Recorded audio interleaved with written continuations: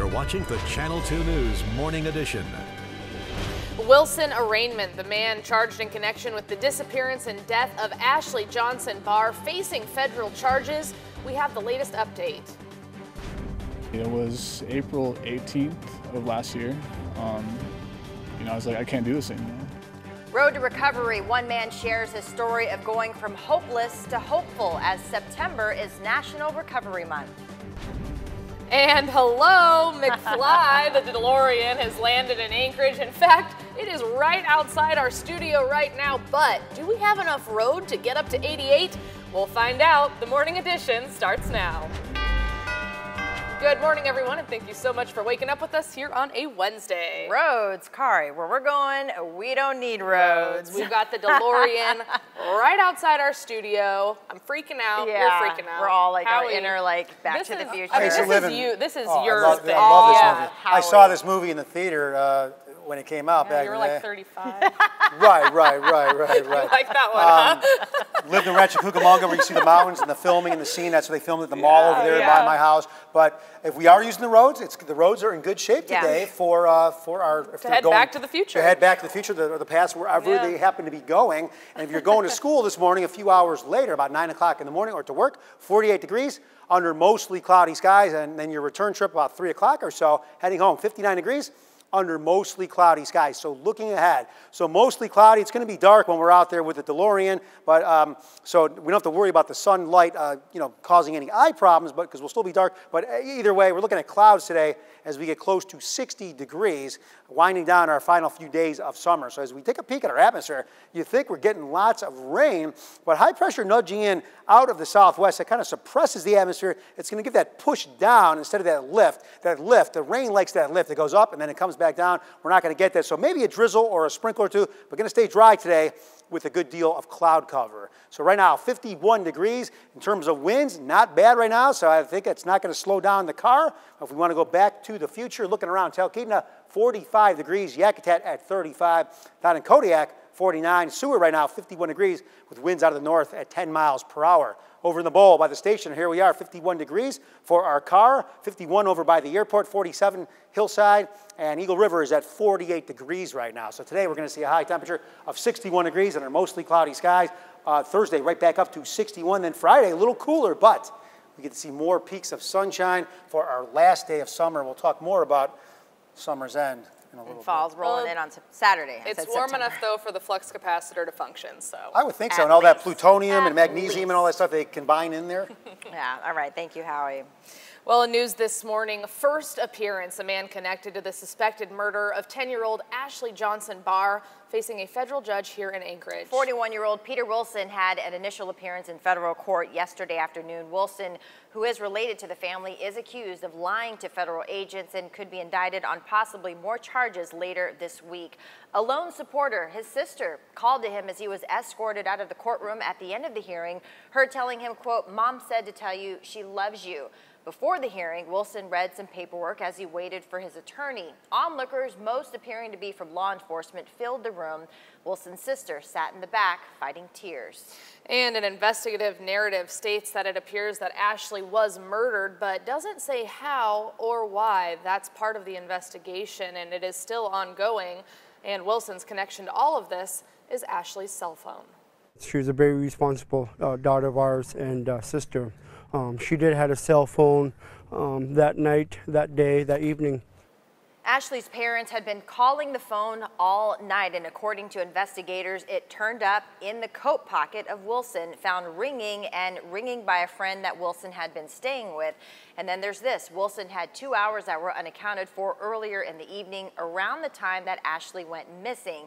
He'd headed out on a four wheeler to pick up two children, but returned to the home with no children. So during that same window of time, Ashley's phone was geolocated southeast of the park she'd been playing at. A search of the path identified by geolocation led to the discovery of Ashley's body Friday afternoon. Wilson, now accused of lying to investigators. They say he denied using a four wheeler the day Ashley went missing. He claimed not to know her, that he'd found the phone late that same night, and that he didn't know the phone was Ashley's. The community of Kotzebue now responding. I think it's going to mean a lot to the family and to the community just to see you know, the amount of support, even if it's in visual, within, you know, beautiful flowers. You know, as a child, you know, everyone has their favorite something. And so, you know, having purple flowers is going to mean a lot to everyone and her family especially. And from flowers to food, the community is getting ready for the 10-year-old's funeral. There are dozens of people that want to make donations to ensure that her burial is beautiful and meaningful to the family. And if you're interested in donating, we have all that information available on our website. That's ktuu.com. In other news this morning, moving to the next phase, Anchorage's plan to address homelessness is set to enter a new era. So later this morning, the Anchorage Homeless Coalition will meet with assembly members to discuss Anchored Home. Here's details from Channel 2's Victoria Taylor. Homeless, by definition meaning without a home or permanent place of residence. For many in the state's largest city, this has become what that looks like, but it's not quite that simple. The majority of the people that we interact with, um, that the outreach team interacts with, and the police describe are from Anchorage and hit a problem here and became homeless. Um, but there are some people who came in hoping to find um, additional resources or, or, came to Anchorage looking for something. Hello, APD! Collecting input from residents, homeless Alaskans, and organizations, the Anchorage Coalition to End Homelessness has created the Anchored Home Plan. The point of Anchored Home is to make homelessness in Anchorage rare, brief, and one time. Already, the Muni has made some significant changes. We've now placed social services in the police department. We have mental health resources coming out to people in the community. Do you need help with housing? We have and a social worker here. Anchored Home will focus on housing and support systems. A, a growing recognition, I believe, that just eliminating camps without really having resources and places for people to go to housing isn't going to solve the problem. And that's where I would argue that there has to be resource investment. Improving public health and safety and getting to functional zero. That's a term coined to mean the demand for shelter is less than the supply. There is also the story of, of um, many, many people who have a one time challenge and with a bit of assistance move on with their lives and thrive and contribute to the community. So keep in mind that this is a draft right now. Part of the Anchored Home Plan focuses on community input. And last night, the coalition held a public forum at the Loussac Library for people to weigh in. There's still opportunities, though, for you to add your thoughts. For a link, you can look for this story at ktuu.com. Well, in other news this morning, stand for Alaska or stand for salmon. The two phrases have been drowning the airwaves through Alaska for a bit now. And this week, Alaskan families, businesses, and scientists all piling into an auditorium for a public hearing on ballot measure one. Yeah, the forum for the much talked about measure was hosted by Lieutenant Governor Byron Mallott, who last year actually rejected the application for the initiative as unconstitutional. Here's Channel 2's Derek Minemyer. Opening statements from prominent ballot sponsorship and opposition. still enjoys wild, healthy, thriving, sustainable salmon fisheries. Stephanie Quinn Davidson is a fisheries scientist who worked in salmon fisheries on the Yukon River. We are at a critical moment in the history of our state. Our 60 year old ineffective law that is meant to protect salmon habitat will not protect us from the worst effects of mining and overdevelopment on salmon. Aaron Schutt, president and CEO of Doyon Limited, represented the measure's opposition. Ballot Measure 1 would eliminate our science based fish habitat protections and replace them with red tape and unclear, untested regulations. Testimony against ballot measure one outweighed that in support of the measure at this event. We need to strongly oppose it. In the first hour, only two were for, 28 against. But Stand for Salmon director Ryan Schryver thinks the imbalance is largely from being financially outgunned. Well, our, our opponents are primarily deep pocketed foreign mining and oil companies, and um, they've been able to pay people to show up at these types of events. Stand for Alaska Vote No on One campaign manager Katie Capozzi says Alaskans land on both sides regardless of funding. Thank you, Lieutenant Governor. I think you have a variety of people who, who feel very passionate about this issue, and so whether they're being, you know, whether they're on the company payroll or not, uh, they have shown up to let their voices be heard. And the next public hearing is scheduled for this Friday. That's taking place in Sitka. But as for next week, there will also be additional hearings across the state. Well, now to national headlines this morning. An alleged incident from decades ago might be affecting Judge Brett Kavanaugh's future. The woman who accuses Kavanaugh of assaulting her wants the FBI to investigate before she testifies. Here's CNN's John Lawrence. Judge Brett Kavanaugh's vote for the Supreme Court was originally scheduled for Thursday. The hearing should be as a result of the investigation. It shouldn't be a substitute for it. I'm John Lawrence reporting. And just yesterday, all 10 Democratic members on the Senate Judiciary Committee sent a letter calling for a federal investigation before the hearing. Well, ushering in a new era, just today, South Korean President Moon Jae-in and North Korean leader Kim Jong-un signed a peace agreement, North Korea agreeing to take more steps toward denuclearization. The agreements include a promise by Kim to permanently dismantle the North's main nuclear complex if the United States takes corresponding measures. Also, the countries plan to jointly bid for the 2032 Summer Olympics. Well, still ahead, McFly's marvelous ride right outside our studio. When we come back, we're going to go live with Channel 2's Victoria Taylor as she gets a tour of the time traveling ride. A good Wednesday morning, everyone. Hope your day's off to a great start. Ariane, correction, great Wednesday morning, because I don't know if you can hear Huey Oh, Lewis yeah. in the news out in our uh, parking lot at the moment, Yep. Howie, but we have a very special visitor today. One of my favorite movies of all time, and if he's going to try to hit 88 and go back to the future or back to the past, wherever he's going, we have ideal conditions out there. Not a lot of wind, uh, kind of cloudy, but it, it's still dark at this hour, so the sunlight reflection is not going to really affect him either way. So in the Bering, high pressure is starting to move up out of the southwest. That's going to help with the storms over in the Bering Strait, moving across the state, headed through the interior, headed towards Alaska, because this high pressure is going to kind of nudge it and prevent it from moving down to the south. And then this high pressure is going to move off in a couple days, and it's going to open up the doors for storms out of the Bering to start moving in and changing up our fall-like weather into fall-like weather. So this morning we have another frost advisory until 9 o'clock in the morning down from uh, Yakutat to parts of the Panhandle, and then Skilak Glacier uh, the dam, the glacier, is going to be released today, but it should not impact Skilak Lake or the Kenai River uh, due to already low levels of the rivers and the lake. So, uh, small impact event with the release of that glacier. So, looking ahead, a lot of clouds today, minimal sunshine, but we get up back up into the upper 50s to the lower 60s for highs. So, very summer-like with summer have, uh, closing out our few our last few final days. Anchorage at 52 right now, Prudhoe Bay at 28 degrees down in Ketchikan. We're at 48. Cold Bay is at 44. Later on, look at the panhandle. Lots of sunshine with temperatures in the 60s. Kodiak up to 60 under partly sunny skies. McGrath, it ends at 808. Not going to get to see too much sunshine today. A lot of cloud cover, but still above average for our final few days of summer. We're staying warm. Yeah. Uh, hello, Car-. Think, Ariane, Yeah. think. All right, we're a little excited We're getting into this. There's a reason for, for, for the madness. All right, grab your Nike pumps and your hoverboards. We are going back to the future on this Wednesday morning. Channel 2's Victoria Taylor. She is live outside our studio in Midtown with a look inside one of the most recognizable cars to come out of the less last century. Hello, Victoria. Hey, Kari. Yeah, you hear that engine roaring? You hear the Huey Lewis playing in the background? That's right. This is not your granny's Camry, okay, that we're talking about. If your grandpa is Marty McFly or even Doc, this is your ride. We're talking about the DeLorean, all right? Not just a DeLorean, a DeLorean time machine, all right? This morning we're actually joined by uh, Terry and Oliver Holler. Oliver over here in the driver's seat. Hi, good morning. Oliver, you and your wife really took this on as a passion project. How did that come about? Well, we're big fans of the movie Back to the Future, and we thought one day wouldn't it be just the most fun thing in the world to drive a DeLorean time machine? So we built one. And how's that gone so far? Well, it's gone uh, pretty good. We've we've visited 50 states and uh, 28 countries so far in, in the time machine.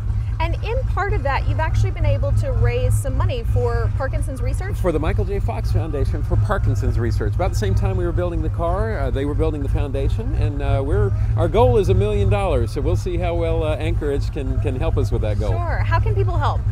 Come to SenshiCon this weekend. You can sit in the driver's seat, have a photo taken for a donation. We even have a hoverboard. Look at this. of you course can have you your do. photo taken hovering just a few inches above the ground.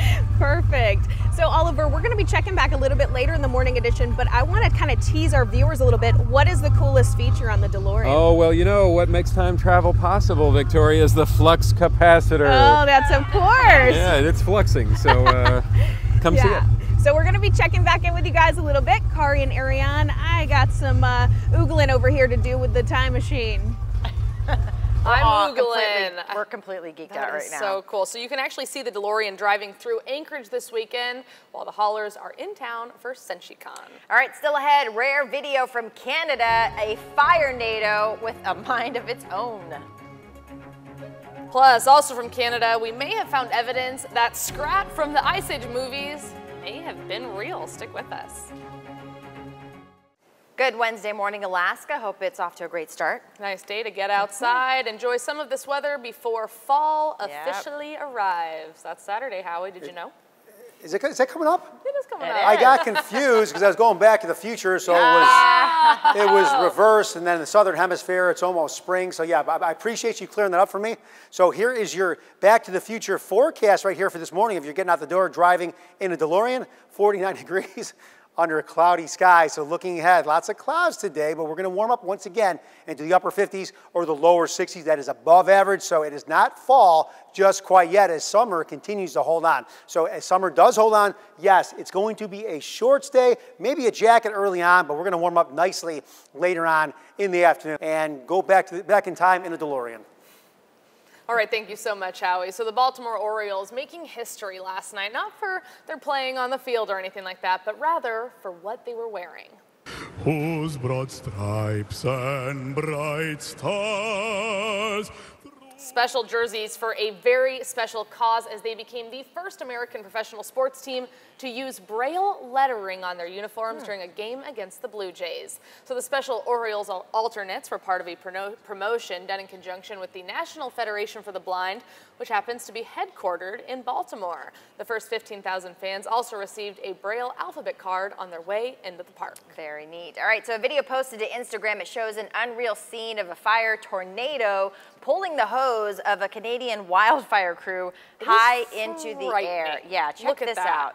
So three firefighters, they're seen struggling to try to just control that hose as Oh it's sucked gosh. toward the flames while a spinning vortex of fire Oh appears feet away. Firefighter Mary, she shot and posted the video of the fire tornado which formed southwest of British Columbia and was almost 200 feet high. Firefighters are so impressive. They run towards it. I'm Mhm. like, what are you doing? Yeah. All right. Well, in other news, a caribou calf and wolf pup were dug up from the permafrost by gold miners near Dawson City, Yukon. So the two animal specimens scientists say are 50,000 years old, remarkably well preserved, with fur, skin, muscle, tissue still intact. Ice Age bones and fossils are often found in the Yukon, but mummified carcasses are said to be extremely rare. Very interesting. All right, still ahead on the morning edition, a horrible crime out of Iowa, leaving a family not only in mourning, but looking for answers. Well, good morning, everyone. It is Wednesday, September 19th. I am just grinning ear to ear. It's like Christmas morning, you know? SenshiCon for the weekend. Uh-huh. Of course, the DeLorean right outside our studios, and we're all geeking out over here because Channel I 2's. Victoria Taylor's out there. We'll go I ahead might with just her leave in a you little guys, bit. I know, honestly. I'm some Me point. too. Can you either one of you do the weather? Can you do? Can you do the yeah, news? it can't be that hard, right? Pro- probably not. I can't. Well, no, you two probably easily could do the weather before I could be up there, no question about it. But yes, a great day. I'm a huge fan of Back to the Future. Uh, looking ahead, if you're going to drive that car, we are looking at some clouds today, but not a lot of wind. And we are looking at some warm temperatures. So, really, a good day to get out, take a stroll in the DeLorean, hit 88, and shoot back in a time uh, into the past or the future, or wherever you're going. With fall starting on Saturday, I'm not sure if you're going to like what you're going to see, but we'll talk about that in just a little bit. All right, in national news this morning, President Trump visiting North Carolina today to see the impacts of Hurricane Florence. He is scheduled to visit the Marine Corps Air Station, Cherry Point in eastern North Carolina. He's going to get an update on the storm damage areas there. Many parts of North Carolina flooded and still suffering from devastating effects from Hurricane Florence, which made landfall on the coast last week. Well, speaking of Hurricane Florence, Michael Jordan, MJ, announcing that he and the Hornets are donating $2 million to help hurricane victims. So the North Carolina native is contributing $1 million to both the American Red Cross as well as the Foundation for the Carolinas Hurricane Florence Response Fund. Walmart going the extra mile to help areas impacted. Trucks rolling to areas of the Carolinas devastated by Hurricane Florence, loaded with thousands of cases of water wow. and supplies. So far, Walmart has shipped nearly 3 million cases of water to parts of the Carolinas as that region starts the recovery process. Additionally, Walmart and Sam's Club are matching customer donations for hurricane relief. So for each dollar donated, Walmart will donate $2 up to $5 million through September 21st. Customers can either donate in-store or online. Well, another news this morning, a murder on a golf course is sending shockwaves across the state of Iowa. A young champion golfer who was about to be honored as the Iowa State Female Athlete of the Year this weekend found dead after going out on the course alone. And an apparent stranger is now charged with her death. Here's NBC's Blake McCoy. A gruesome discovery on this Ames, Iowa golf course. College student and star athlete Celia Barquin. Her brother says the family is together, working through deep pain, struggling to understand why this happened. And this is now the second college student to be brutally and randomly murdered in Iowa in just as many months as Molly Tibbetts was also found dead about an hour away from that golf course. One other news, one of Elizabeth Smart's kidnappers is being released from prison today. Wanda Barzee aided in kidnapping then teenager Elizabeth Smart in 2002 and helped hold her captive for nine months. The Utah Board of Pardons announced Barzee will be freed from prison today after 15 years in custody because Utah authorities miscalculated the amount of time that she should serve. Smart has spoken out about how she believes Barzee is still a danger to the public and should not be released. Well, still ahead here with us on the morning edition, dream drinks are all the rage now when it comes to getting a better night's sleep. But we're going to tell you why, what doctors think about sipping your way to bed. Stick with us. Good Wednesday morning. I know I've been saying a lot, but a great day to get in your DeLorean, head back to the future. Good conditions on the roads. Right now we're at 52 degrees. You wouldn't think so. I'm sending you back to my anchors. Nice one, Howard. All right, so doctors say one of the top concerns that they hear from patients is having trouble sleeping. So Dream drinks, they're becoming very popular and one product has actually made its way to Texas. So while the internet is raving about this new sleep aid, doctors want you to know the risks before you pop it open. So Haley Hernandez reports in today's To Your Health. Sip your way to sleep and warns not to operate machinery or drink alcohol at the same time. And of course, experts say you should always consult with your physician before you take any type of sleeping aid. Well, still ahead, this season of America's Got Talent has been one to remember. And tonight, we're going to learn who's going to take home the grand prize of a million dollars. Plus, there's a new hot restaurant in LA, and in fact, it may be described better as a flaming hot. We'll ah, tell you ah, why. Ah. Well, new this morning, a story of overcoming addiction. From 14 up until, you know, when I started uh, staying sober. It was about 16 years. Born and raised in Fairbanks, Arthur Stevens picked up his first drink at the age of 14, and from there, his road to sobriety hasn't been an easy one. He says as the drinking progressed, it also became his escape and how he dealt with depression. With the way the drinking was going, I lost my house, I lost my job. Once I take that last drink, that's where the rubber meets the road. You know, that's where I really got to put in that work to heal from that 16 years. So that's where organizations like Recover Alaska come into play. September is National Recovery Month, and Stevens hopes in sharing a story of sobriety is that it can help someone else see the light at the end of the tunnel. If this has the potential to reach at least one person and potentially change that one person's life, hey, you know, let's go for it. You keep pushing through that wall, those walls, you know, you're eventually going to make it. So there are a few more events scheduled for the rest of the month, both here in Anchorage and in Juneau. Next Tuesday, in fact, September 25th, Stevens will share more in-depth his story of sobriety at the Anchorage Community Theater. It is free, open to the public. It starts at 7 p.m. and will be stories of hope, addiction, and recovery here in Alaska. Of course, for more information, you can always visit recoveralaska.org. All right, time now for a check of weather on this Wednesday. Good morning. Howie Fall is on the way. Yep. Fall's on the way, but you, you, definitely wouldn't have thought so over the last couple of weeks. And I know our stretch of sunshine on it, but you know what? Staying above average and mostly dry. Then Friday, yes, a little bit cooler with a high of 58, but looking at partly sunny skies for our last day of summer. All right, thanks, Howie. Well, grab your Nike pumps and hoverboards because where we're going, we don't need roads. But we will need a parking lot because we need a place to actually Oh. park the DeLorean. Okay. Yes, we have a very special celebrity guest here with us this morning, and Channel 2's Victoria Taylor, currently live outside our studio. What an honor, with a look inside one of the most recognizable cars to come out of the last century. Hello. Yeah, hey, good morning, guys. So, you know, we couldn't have the DeLorean come visit us and not take a ride right now. I kind of feel like I need a red vest since I'm riding shotgun, like just to pay tribute to Michael J. Fox.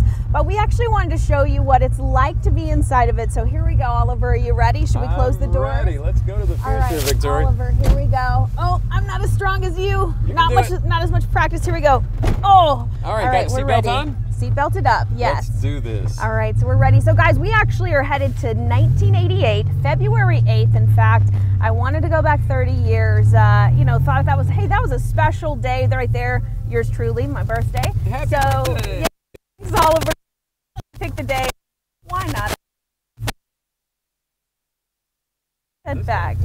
yeah, cake and ice cream next time, or this time rather.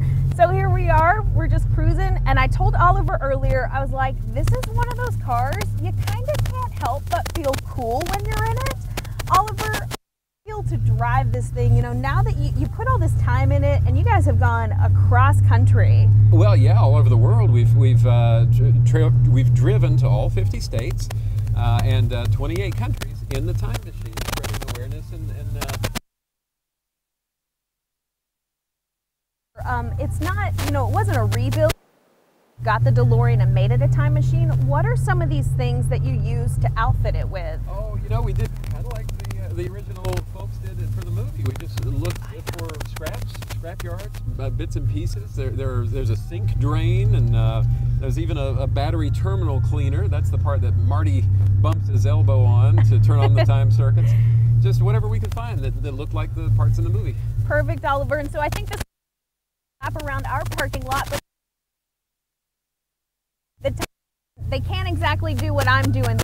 Ride in it with you. Oh, but they can climb into the driver's seat and have some great photos. Yeah, absolutely. All right, Kari, Ariane, back to you guys.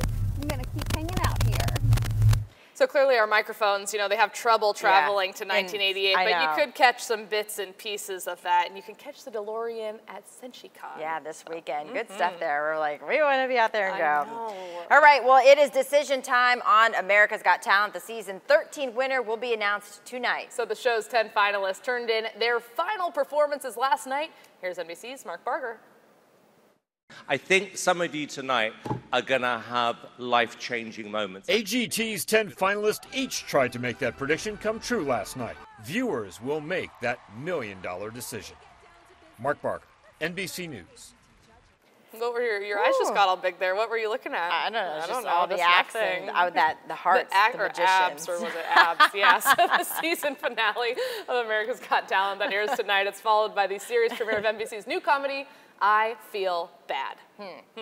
All right, let's talk Cheetos. I will. Okay. Flaming hot ones. Want to know why? Because a pop-up restaurant in Hollywood, it's serving flaming hot Cheetos in ways you have never imagined. crazy. I know. The flaming Hot spot features fusion foods crafted by famed chef Roy Choi. The spicy sweet menu includes the Hot Cheetos burrito, Cheetos Sweetos hotcakes, and Flamin' Hot Chipotle Ranch wings. The restaurant says it is completely booked, I mean naturally, but it is currently offering a wait list. And if you can't make it to LA, you can have the recipes and ingredients delivered to your door through Amazon Fresh. It's like the only chip that you can lick your lips. Yeah, you get the pruny fingers. All right, let's go talk weather here. Howie, good morning. What you got? Good morning. I don't, I don't know about weather today because we're talking Cheetos, we're talking Back to the Future, so it's just one of my favorite shows today. 52 degrees right now. Winds are calm, so if you are cruising along in your car or a DeLorean, then we look to have rain Saturday, Sunday, Monday, and Tuesday, but we stay above average with temperatures in the upper 50s. So what do you guys think about, about this? Where'd you guys go? What happened?